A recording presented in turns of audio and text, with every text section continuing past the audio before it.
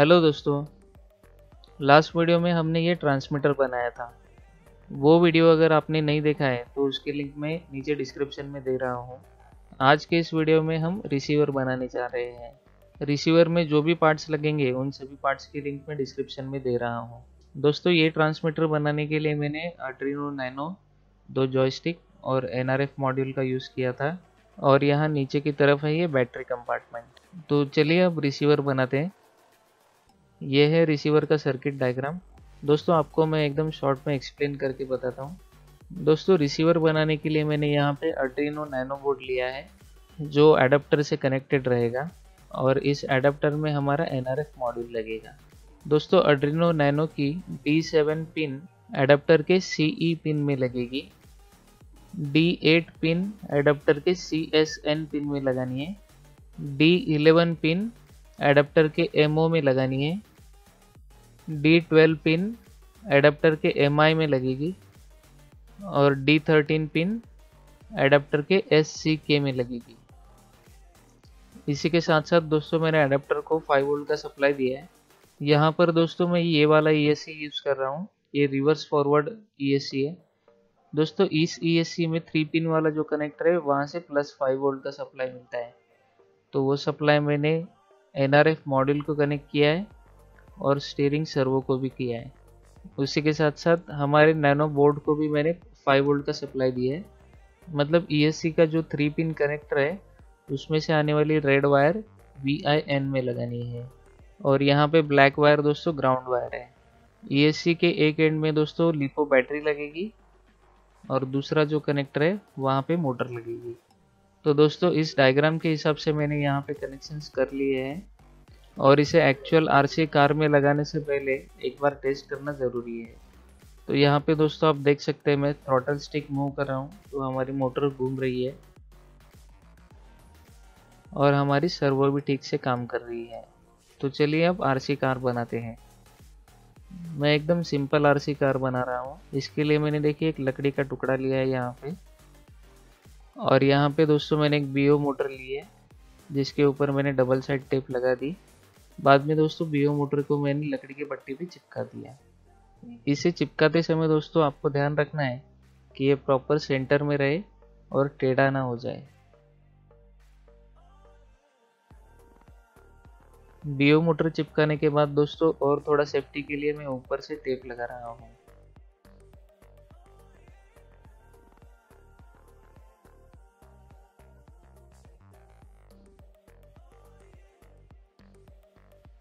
बाद में दोस्तों मैंने देखिए एक तार का टुकड़ा लिया, जिसे इस तरह बेंड किया है। इसमें हमारा फ्रंट व्हील लगेगा। यहाँ लकड़ी की पट्टी में देखिए मैंने एक होल किया है, जिसमें से ये तार का टुकड़ा पास करना है।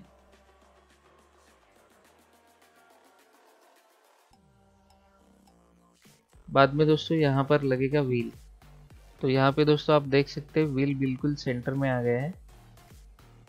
और ये व्हील निकल ना जाए, इसलिए मैं यहाँ पे प्लास्टिक के पेन का टुकड़ा लगा रहा हूँ।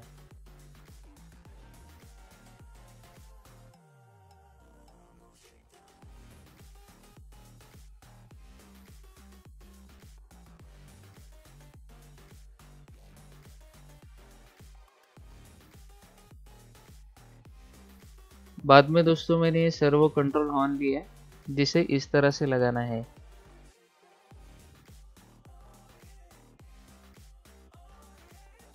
बाद में दोस्तों इसके ऊपर मैंने धागा बाँध दिया। धागा बांधने के बाद मैंने ऊपर से हॉट ग्लू लगाया।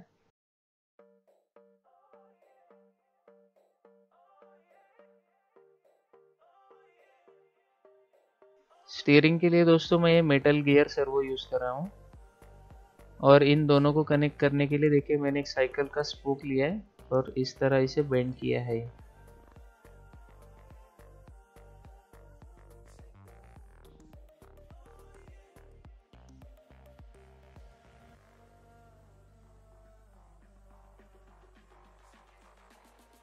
दोस्तों, सर्वो की पोजीशन लेके मैंने देखिए यहाँ पे एक लकड़ी का टुकड़ा चिपका दिया।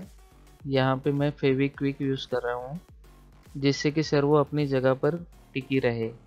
बाद में दोस्तों, मैंने सर्वो की दूसरी बाजू में भी एक लकड़ी का टुकड़ा लगा दिया।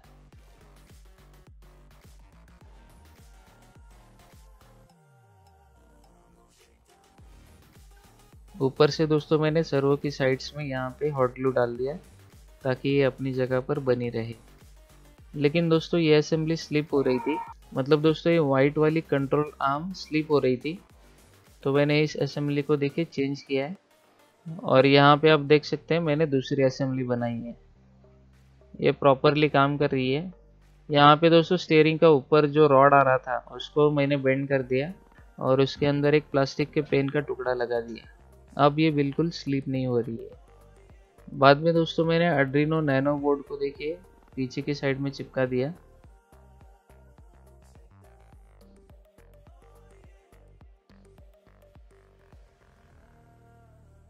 यहाँ पे आपको ध्यान रखना है कि इसका कनेक्टर जो है, वो पीछे की साइड आ जाए, ताकि आपको इसे कनेक्ट करने में आसानी हो। उसके बाद दोस्तों मैंने एनआरएफ मॉडल को भी डबल साइड टेप से चिपका दिया।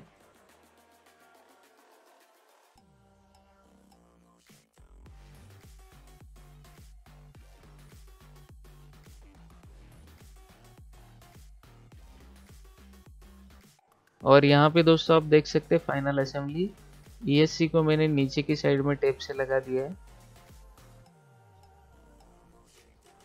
यहाँ पे दोस्तों मैंने 2S बैटरी यूज़ की है। वो भी मैंने नीचे की साइड में लगा दी है। इसी के साथ साथ दोस्तों ये प्रोजेक्ट हमारा कंप्लीट हुआ।